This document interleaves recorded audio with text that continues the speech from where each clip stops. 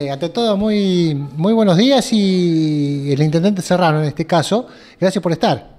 No, no, gracias a ustedes. Estamos acá en la cautiva, reunidos los intendentes en la municipalidad con José Luis Beltramone, que nos ha convocado. Eh, y bueno, estamos un poco conversando, debatiendo esta necesidad de coordinar esfuerzos para que todo lo que tenga que ver con el hockey femenino se pueda desarrollar en nuestra zona, en nuestros pueblos, ya que en los últimos años ha habido como un interés mm, que fue creciendo en desarrollar esta disciplina. ¿Cuántos habitantes tienen en Serrano ustedes? Aproximadamente 4.100. ¿Y jugadores de hockey? 28. No, está bien, un buen número. Sí, sí, sí alcanza para, para poder, eh, ya te digo, eh, ya salir a competir. Eh, o mejor dicho, salir a compartir con otros equipos eh, así de la zona y, a su vez, bueno, la competición también hace que los chicos se motiven eh, para poder entrenar y todas esas cosas. Em, y la verdad que sí, nosotros en, Serrano lo que hemos desarrollado en el Polideportivo Municipal son disciplinas alternativas al fútbol, porque generalmente eh, en el pueblo se venía desarrollando los dos clubes que tenemos, eh, fútbol eh, en todas las categorías, desde chiquito de 10 años en adelante hasta la primera división que juega en la Liga Regional.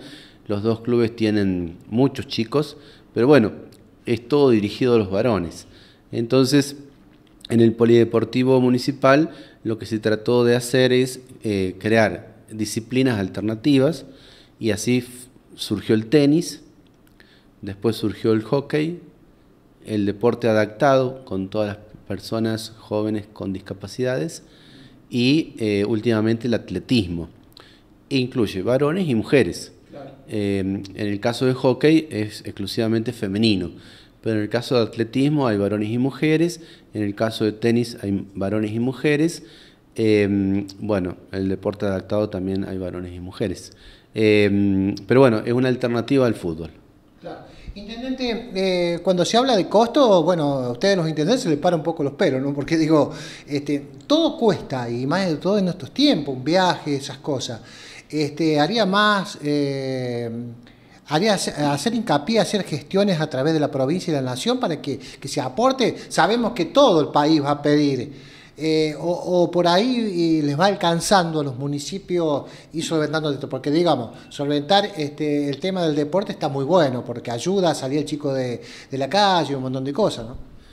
O sea, la práctica del deporte es eh, virtuosa, diríamos. Una buena inversión, digamos. Claro, porque digamos, vos practicás deportes y entonces te cuidás, eh, concentrás, no fumás, no tomás. Bueno, si lo haces con responsabilidad.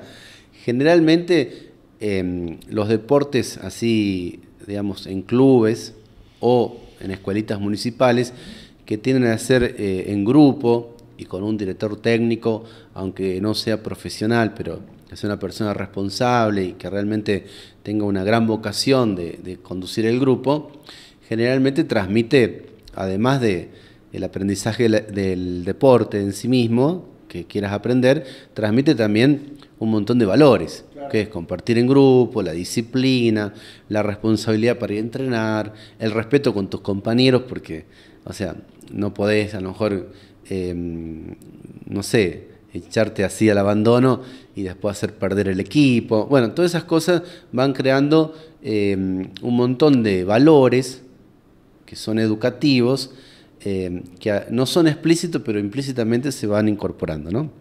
Entonces, en ese sentido es muy bueno desarrollar el espacio del deporte, como, como contención eh, para los niños, para los jóvenes, eh, y como un espacio, digamos, donde uno comparte, hace amigos, crea vínculos, eh, respeta reglas, etc. Em, después lo otro, lo económico es como una familia, digamos, o sea, ¿cómo es el municipio? El municipio es como una familia. La familia tiene plata, gasta. No tiene plata, se achica, ¿no es cierto? Y, bueno, eh, cuando los fondos escasean, como en esta época, digamos, em, a veces la discusión es, eh, bueno, qué cosas son más prioritarias ¿no es cierto? Entonces, ¿en qué cosas se puede gastar y en qué cosa no se puede gastar, digamos? O se gasta menos. Pero es como una familia, digamos, ¿no? O sea, una familia a lo mejor piensa irse de vacación a tal lugar y dice, mira, la cosa viene mal, en vez de ir a tal lugar, vamos a otro lugar, que salga menos. O este año no salimos directamente. Y bueno, el municipio pasa lo mismo. Hay años que vos a lo mejor, no sé, tenés la fiesta patronal y traes un gran conjunto de música y salió caro y la gente lo disfrutó todo y al otro año, bueno, hiciste una cosa más modesta. ¿Por qué? Y bueno, porque no se podía. Entonces, en, en este sentido, esta reunión que hemos hecho hoy tiende un poco a tratar de lograr el objetivo reduciendo el costo y coordinando los esfuerzos. O sea, te doy un ejemplo. Nosotros tenemos la escuelita de tenis. Para competir en tenis tenés que ir a Villa María o a Río Cuarto. ¿Por qué? Porque no hay en la zona un circuito de competición en tenis. Entonces, o no tenés escuela de tenis o tenés que hacer un gran esfuerzo para poder competir. Porque si no hay competencia, el chico se cansa porque entrenar por entrenar no lo hace prácticamente nadie. O sea, generalmente uno eh, participa para en algún momento lograr un objetivo, que en el caso del deporte a veces la competencia ganar el premio mayor, diríamos. ¿no? Eh, entonces, en el tema de hockey que se ha desarrollado también en los últimos años, a partir del gran impulso que han dado las Leonas, bueno, el hockey mundial, y entonces ha ido transmitiendo y ha sido una opción para, para las chicas de poder desarrollar el hockey femenino eh, lo que pasa es que, bueno, es un deporte que, tiene su costo por los equipos, los palos, la indumentaria, lo que sea, y después eh, cuesta crear el circuito de competición. Porque vos podés armar un equipo bárbaro, pero si no tiene dónde jugar y con quién jugar. Entonces, eh, ¿dónde hay equipos? Bueno, en Río Cuarto, en Villa María, Venado Tuerto, ¿me entendés? Bueno, no se puede viajar a todos esos lugares siempre. Entonces, si en todos nuestros pueblos hay pequeños grupos de chicos que participan y bueno, y, tienen ganas de, competir, lo ideal es hacer el esfuerzo coordinado y armar un circuito de competición donde los chicos participan en el deporte, hacen su entrenamiento y una vez por mes o como lo planifiquen, pueden participar en una competición que los motiva a seguir adelante y ganar que sea un campeonato zonal, digamos. Intendente Serrano, gracias por la entrevista. Seguramente los vamos a juntar para charlar un poco de política también. Es un año electoral este, así que, pero es otro tema para charlarlo. Está bueno esto porque vemos la diversidad de, intendentes, uno, peronista, otro radical, pero todo con el mismo fin, digamos, este, trabajar por, la juventud, por el deporte, que, que eso es lo más importante que tienen los pueblos.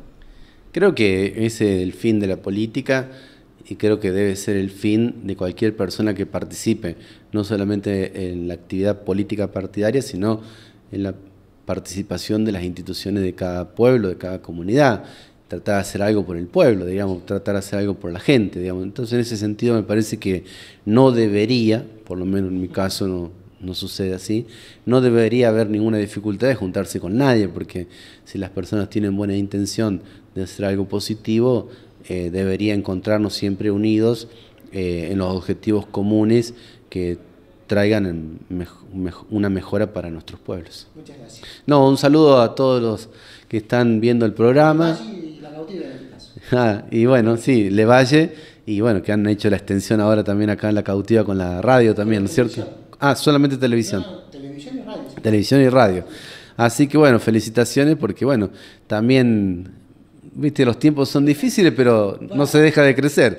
Eh, nosotros tenemos un dicho que dice, sin prisa, pero sin pausa. Así que bueno, un saludo a todos, eh, bueno, especialmente a la gente de Levalle también, que tengo muchos parientes ahí.